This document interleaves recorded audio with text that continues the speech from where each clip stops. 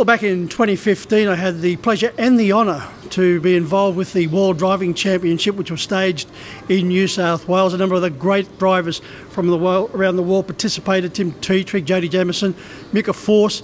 And on the reserves bench on that particular occasion was an emerging star from Queensland in Pete McMullen.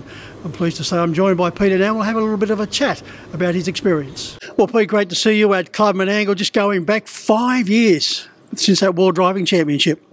Yeah, time flies, doesn't it? Um, but yeah, it was you know, a great memory for myself. It was something um, I was still quite young at the time, and it was a great sort of achievement to be able to, um, or, or, an honour to be able to sort of travel around with those guys, and um, you know, still keep in touch with a few of them today. So it's a um, yeah, it was a real privilege to be able to be associated with them sort of people. Pete, you were there on the reserve bench in case any of them did have uh, a problem and couldn't fulfil their particular engagements. Being involved with those drivers, as I mentioned, and, a lot more, Pierre Vercruysse, who was the defending world driving champion, it was a wonderful experience.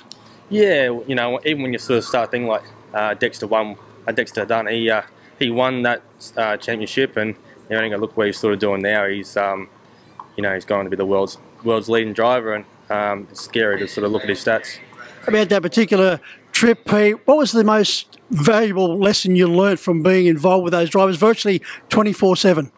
Yeah, um, you know, I watched them guys a lot before I sort of, you know, met them, and I used to watch a lot of American racing, so uh, I always sort of watched them, and but to be up close and sort of just watch how they handle horses, and um, you know, just how relaxed they are and, and their composure, it's just sort of faultless.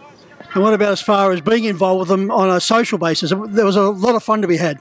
Yeah, it certainly was. Um, you know, but they were all just top guys, and it was just a great experience. I think one of the most enlightening things I learned from that particular trip, Peter, was at Wagga when they weren't driving horses that were renowned as being brilliant, but the way they handled the Wagga track and those horses was just uh, something I'll never forget. Yeah, I'm sure it was pretty different for a few of them guys. They wouldn't have probably been to a track like that before, and they all took it in their stride, but that's probably just a credit to their skills. Well, let's fast forward now. We're 2021, Pete. You've got a very strong team back home, along with your partner Chantel Turpin. How many horses have you got in work? Yeah, um, along with my wife, um, she's also the trainer. We train about 40 horses. Um, you know, the team's ticking along really good. We've got a, you know, really, really strong team of horses, and um, you know, they're all going quite well. And you must be pleased with your own performances.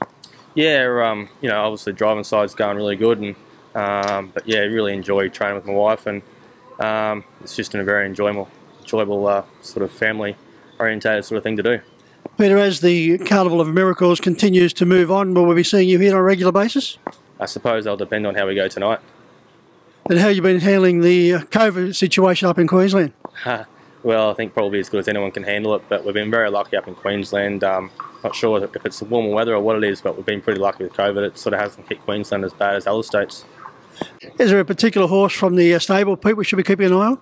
Probably no particular one horse. Like, um, you know, we just got a big bunch of sort of young horses coming through and they're all starting to sort of grow into really nice sort of race horses and, um, you know, everywhere from horses like Willow the Wizard, Black Dance, um, you know, a nice three-year-old Big Wheels.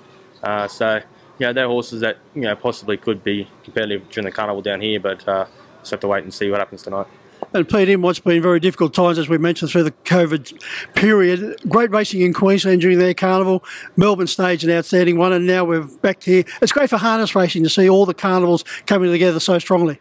Yeah, I think Queensland gets underestimated a little bit. Um, our racing's super strong. Um, you know, I think people really sort of underestimate the quality of horses up there, and uh, you know, hopefully we can sort of showcase it when we come down here. Well, Pete, great to catch up with you once again, and good luck throughout the carnival. Cheers, eh?